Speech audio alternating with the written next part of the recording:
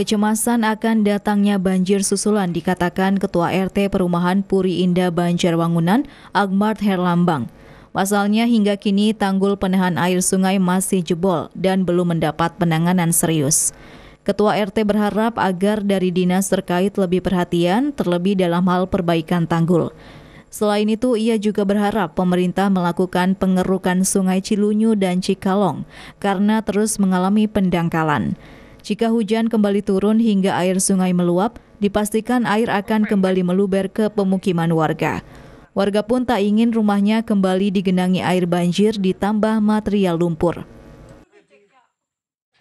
Harapan kami sih memang ya dari dinas terkait lebih perhatian lagi terutama untuk perbaikan tanggul hmm. kemudian juga pengerukan dari sungai-sungai yang ada di sini hmm. supaya lebih kuat lagi tanggul kita di sini gitu loh mas.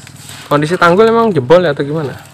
Kondisi tanggul itu nggak jebol sebenarnya hanya hmm tidak kuat aja dan kurang tinggi sepertinya. Gitu. Kurang tinggi. Dan setiap hujan pun pasti banjir di sini. Oh gitu.